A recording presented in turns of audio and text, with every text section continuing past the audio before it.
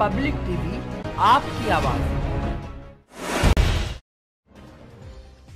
बिजली पानी सहित मुद्दों को लेकर समाजवादी पार्टी कार्यालय ने एसडीएम कार्यालय का किया घिराव। संबल सदर एसडीएम दीपेंद्र यादव को उनके कार्यालय में बनाया गया बंधक।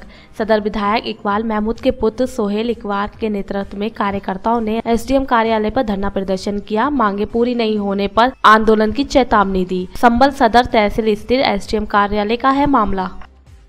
फुका हुआ लगभग एक एक महीना हो गया। हमारे जो ट्यूबवेलों का ट्रांसफार्म है वो फुका हुआ एक महीने से है। जो हमारे गाँव के कनेक्शन है 25 का ट्रांसफार्म रखा हुआ। कनेक्शन है करीब 90 उस पे 25 के ट्रांसफार्म पे 90 कनेक्शन चल सकते हैं। नहीं चलेंगे। ट्रांसफार्म रखा जाता है दो तीन दिन के अंदर अंदर फूक जाता है इतनी लोड के मारे कैसे चल जाएगा? मतलब एस साहब भी गए थे हमारे गाँव तफ्तीश करने के लिए। बोले भाई मैं गाँव आके हालात देखता हूँ क्या है? तो कह रहे बोले भाई ट्रांसफार्म रख जाएगा बड़ा। आज तक भी सुनवाई नहीं। कई बार हम बिजली भर आ चुके कहीं कोई सुनवाई कैसे ही नहीं है। भाग दौड़ कर रहे हैं। भाई साहब, कहीं भी कभी सुनता ही नहीं बिल्कुल बिजली कर्मचारी बिजली कर्मचारी विद्युत विभाग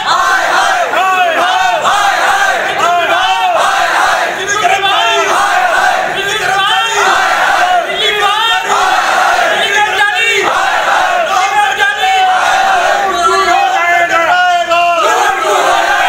हमसे टकराएगा विद्युत विभाग विद्युत कर्मचारी विद्युत कर्मचारी तो हमसे टकराएगा अरे प्रशासन होश में आओ अरे प्रशासन होश में आओ किसानों की समस्या देख कर आओ किसानों की समस्या देख कर आओ आ, कुछ जन समस्याओं को लेकर के ये लोग यहाँ पे आए हुए हैं। मुख्य रूप से समस्या बिजली विभाग से है। इसके अलावा कुछ गाँव में साफ़ सफ़ाई की समस्या की बात कही जा रही है।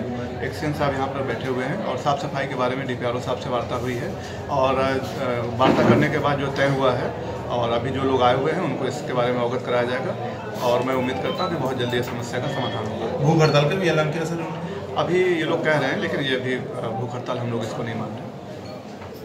अभी भूख हड़ताल तक जाने की नौबत नहीं आएगी।